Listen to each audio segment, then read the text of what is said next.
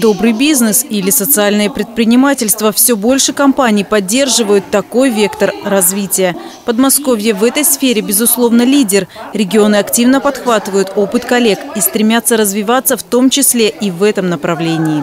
Сейчас вернулась Читы, а, были еще Боксары, Симферополь, Ульяновск, Саратов, то есть были другие тоже города. Мы обмениваемся опытом.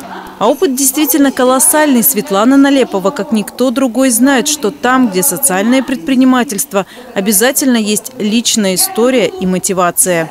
Социальные предприниматели, они часто идут в бизнес, исходя из какой-то личной истории, что-то случилось. И они видят проблему и видят, что решения, допустим, вокруг, вот на месте, на территории нет, и они начинают э, э, привлекать в свой бизнес уже и помогать через бизнес, не ожидая, там, допустим, от какой-то поддержки дополнительной, им внедрять новые социальные технологии. Если говорить о поддержке социального предпринимательства на уровне государства, такие меры тоже предусмотрены.